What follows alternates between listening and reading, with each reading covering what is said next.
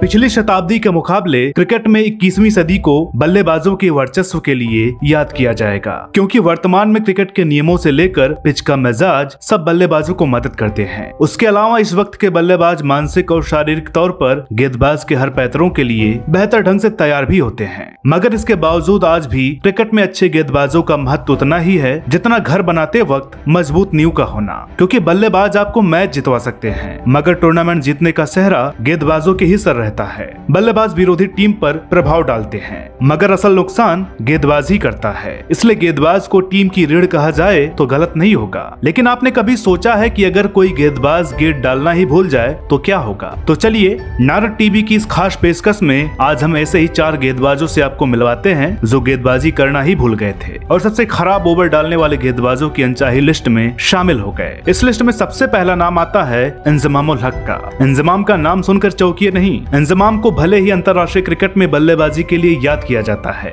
लेकिन अपने करियर की शुरुआत में वो बाएँ हाथ से मीडियम पेस बॉलिंग करते थे। फ़र्स्ट क्लास क्रिकेट के अड़तीस और लिस्ट क्रिकेट के तीस विकेट इस बात का सबूत है कि इंजमाम ठीक ठाक गेंदबाज थे। लेकिन अंतर्राष्ट्रीय क्रिकेट में इंजमाम को जिस ओवर के लिए याद रखा जाता है, उसे कोई भी गेंदबाज जल्द से जल्द भूलना चाहेगा। बात साल उन्नीस सौ छियानवे के सिंगापुर कप में भारत बनाम पाकिस्तान वनडे मुकाबले की है। सिंगापुर की पिच को देखते हुए पाकिस्तानी टीम तीन स्पिनर्स के साथ उतरी, लेकिन तेज गेंदबाज सिर्फ़ दो ही थे। सचिन और सिद्धू से अपने स्पिनर्स को बचाने के लिए कप्तान आमिर सोहेल ने इंजमाम को ओवर दिया। मगर इंटरनेशनल क्रिकेट में इससे पहले भी कई मौकों पर गेंदबाजी कर चुके इंजमाम उस रोज सचिन और सिद्धू को देखकर इतने नर्वस हो गए कि उन्होंने अपने एक ओवर में चार बड़ी वाइड और नो बॉल फेंकी। हद तो तब हो गई जब उन्होंने गेंद को तेज़ी से फेंकने के लिए जर, यानी बॉल थ्रो करना शुरू कर दी। अंपायर को नो बॉल देने के बाद इंजमाम ने दोबारा ऐसा नहीं किया। हालाँकि इंजमाम ने सिर्फ़ दस रन दिए, लेकिन दिशाहीन गेंदबाजी और नो बॉल ने उनका ये ओवर इतिहास के सबसे खराब ओवरों में शामिल करवा दिया।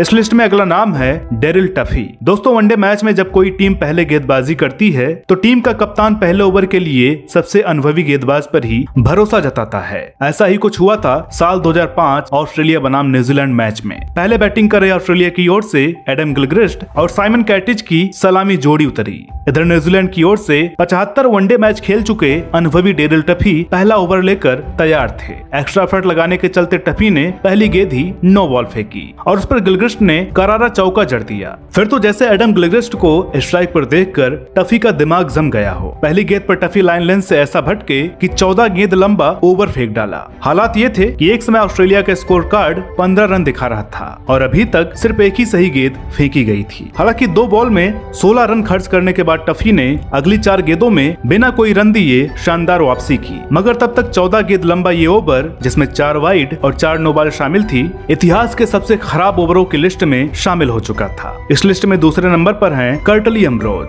दोस्तों, क्रिकेट इतिहास में जब भी तेज और घातक गेंदबाजों की लिस्ट बनेगी तो उस लिस्ट में महंतम कैरवियाई गेंदबाज कर्टली अमरोज का ज़िक्र ज़रूर आएगा। क्योंकि किसी तेज गेंदबाज के लिए अट्ठानवे टेस्ट मैचों में 405 विकेट लेना कोई आम बात नहीं है। लेकिन ये क्रिकेट की अजीबो गरीब फितरत ही है कि जिसकी वजह से इतिहास के सबसे घातक गेंदबाज का नाम सबसे खराब ओवर डालने वाले गेंदबाजों की लिस्ट में दूसरे नंबर पर है। कर्टली अमरोज के करियर में ऑस्ट्रेलिया की पिचों का महत्व किसी से छुपा नहीं है, क्योंकि छह फुट सात इंच लंबे कर्टली अमरोज ने ऑस्ट्रेलियाई पिचों की तेज़ी और उछाल से मदद लेकर कई महान गेंदबाजी स्पेल डाले हैं। लेकिन उसी ऑस्ट्रेलिया के पर्थ का वाका ग्राउंड कर्टली अमरोज की खराब गेंदबाजी का गवाह भी बना था। दरअसल साल उन्नीस सौ सत्तानवे में ऑस्ट्रेलिया के विरुद्ध पर्थ टेस्ट के दौरान कर्टली अमरोज नियंत्रण में नज़र नहीं आ रहे थे। बॉलिंग करते वक्त कर्टली अमरोज का पाँव क्रीज के बाहर पड़ रहा था और एक ओवर के दौरान ऐसा एक बार नहीं, नौ बार हुआ। एमरोज ने उस पंद्रह गेंद लंबे ओवर में नौ बार नो बॉल फेंकी। उसके अगले ओवर में भी जब एमरोज ने छह नो बॉल फेंकी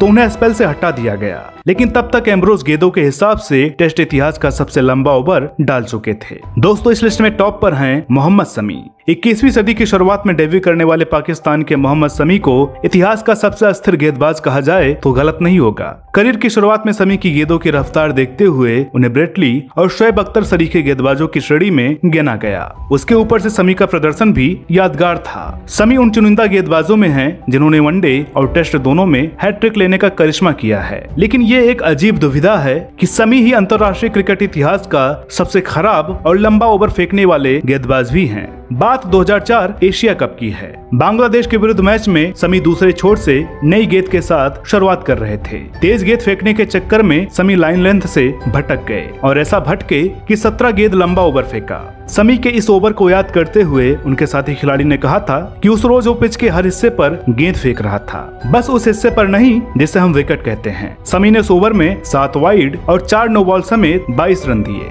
इस ओवर के कई सालों बाद समी ने कहा था, मैं उस रोज नए बॉलिंग एक्शन ट्राई कर रहा था। दोस्तों वजह जो भी हो, मगर मोहम्मद समी इतिहास में सबसे खराब ओवर डालने वाले गेंदबाज बन चुके हैं। अब आप हमें कमेंट बॉक्स में बताएँ कि आपको क्या लगता है। समी का ये रिकॉर्ड कभी टूट पाएगा या नहीं? साथ ही इस वीडियो पर अपनी राय ज़रूर दीजिए।